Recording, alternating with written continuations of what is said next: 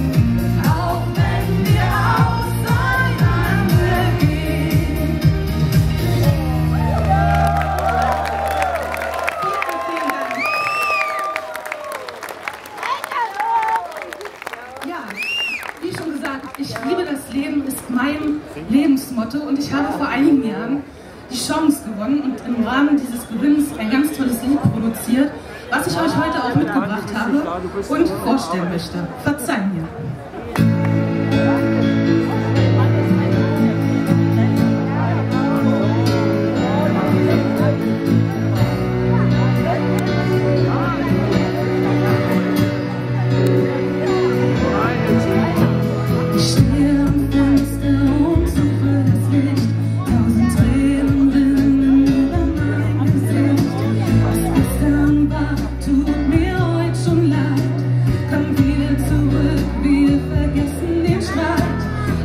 去撕下。